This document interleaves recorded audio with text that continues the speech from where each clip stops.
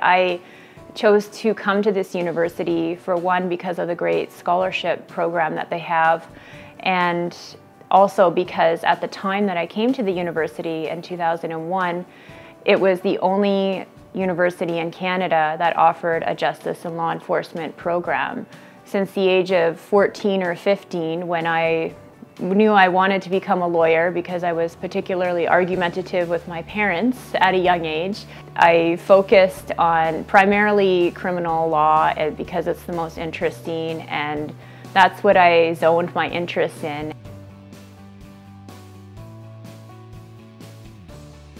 The University of Winnipeg helped me become what I am today. I'm primarily a lawyer, but it also instilled in me um, the need to work at a job that you're passionate about and one that also assists in the larger contributions to society.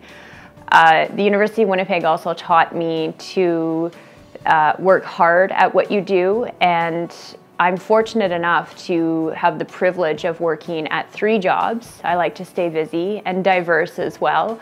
Um, my primary employment is as Director of Content Development at LexisNexis Canada, and that's a large business leadership position combined with my love of legal research and legal nerdism, which is a direct uh, impact of my time at University of Winnipeg staying late nights at the library, of course, till midnight. I am also still a practicing lawyer. I take on a few pro bono files a year as well. I am a contract instructor at Kwantlen Polytechnic University in British Columbia, and I'm part of the criminology faculty, and that is a direct link from my time at University of Winnipeg. I was uh, very eager and always wanting to learn more about criminology and take advantage of this great program that University of Winnipeg had to offer and my pursuit of always achieving the perfect grade and the perfect exam score landed me the opportunity to become a teaching assistant with Professor Colin Goff and that was just a dream come true for me as a second year student.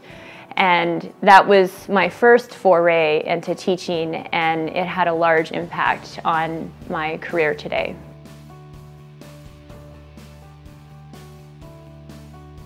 Technology now has allowed us to connect with one another in a much easier fashion. It's easier to update your information.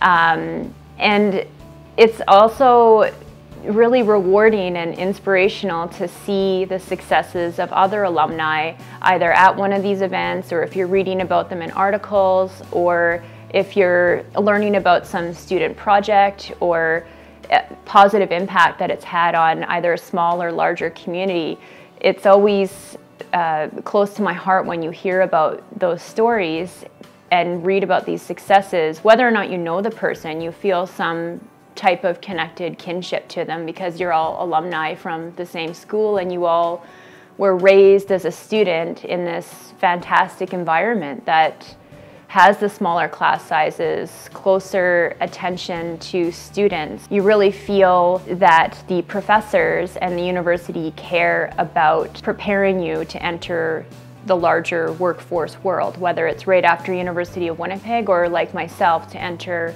law school.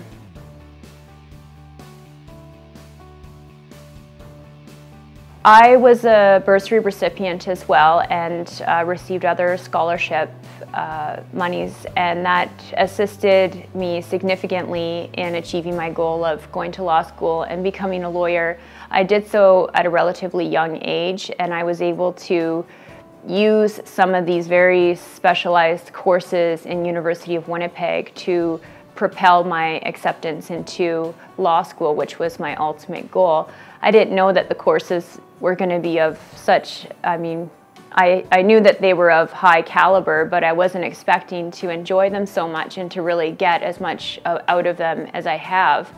Um, simply put, University of Winnipeg was my ticket to the life that I wanted and that I'm leading today. If I'm able to pass that along to someone, then that's the least that I can do for them.